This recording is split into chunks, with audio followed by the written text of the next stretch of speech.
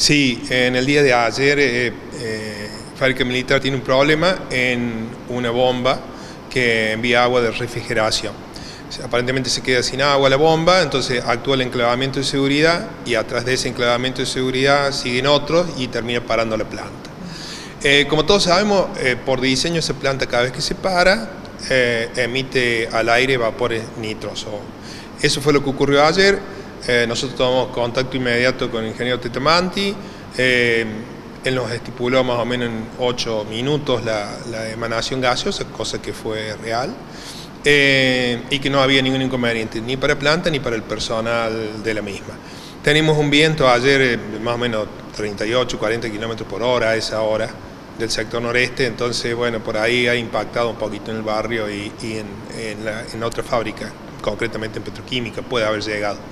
Em, como te decía recién, por diseño de planta, estas cosas van a seguir ocurriendo en cuanto a la emanación gaseosa. Están trabajando mucho en manera preventiva para que eso no ocurra. Pero más allá de eso, traigo colación lo que hablamos hace poco contigo.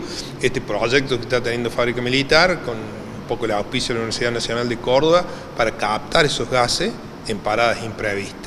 Así que bueno, hablamos con el ingeniero Tetamati, van a retomar el tema. Hoy día él está viajando a Buenos Aires, también lleva un poco esta inquietud nuestra para ver si se pueden adelantar esos tiempos y lograr una solución a corto plazo. Bien, hablando en la voz de los vecinos, bueno, siempre eh, una nube gaseosa en el cielo de Río Tercero, en el sector del polo industrial químico, preocupa.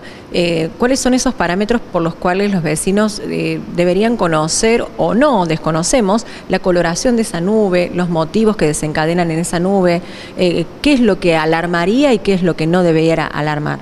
Yo creo que lo que más alarma es siempre asociar de que esa nube eh, proviene de una planta que es de ácido nítrico y que los vapores son nitrosos y en color característico. Yo creo que eso, y más allá de que al vecino, obvio, eh, le produce algunas reacciones, sobre todo a las personas que son más sensibles, eh, los niños inclusive, picazón en la nariz, escosor en la garganta, esa sensación como de irritación general en el tracto respiratorio, si son impactados directamente por la nube. Si la nube se disipa, eh, en el trayecto la concentración a la que llega es tan baja que prácticamente el vecino lo que ve es lo que visualmente aparece en la chimenea de fábrica. Ayer eh, en Defensa Civil no hemos tenido reclamos en el cual se ha necesitado ni ninguna atención médica ni nada por el estilo. Solamente que se percibían olores, se veía la nube y bueno, la preocupación que es normal y habitual en el vecino que es el por qué nosotros insistimos que Fábrica tiene que seguir adelante con este proyecto tratando de acortar los tiempos y buscar una solución para las paradas imprevistas. Nuevamente, poniéndonos del lado de los vecinos, eh, eh, cuando, no alertan con eh, sirenas, no se llama a la población a un cuidado puntual, como es el caso del día de ayer. ¿Se debe a, que no existe el riesgo tal? Es decir, ¿no somos avisados porque no está el riesgo? Sí, así es. La parada de ayer era una parada con una concentración eh, en el tiempo relativamente baja y una parada eh, puntual con un tiempo de duración corto. Si esto se hubiera extendido, si Fábrica no hubiera dicho esto puede tomar otro cariz, esto puede tener otra magnitud, bueno, hubiéramos actuado, yo le tengo que avisar al secretario de Seguridad y él determina el toque de sirenas comunitarias o no, si amerita la situación. Pero en el caso de ayer eh, no, no la ameritó. Esto no fue un evento de la magnitud de abril de este año, en el cual la emanación fue masiva y por un tiempo largo y bueno, llevó a que Fábrica tuviera actuaciones de Secretaría de Ambiente y Policía Ambiental.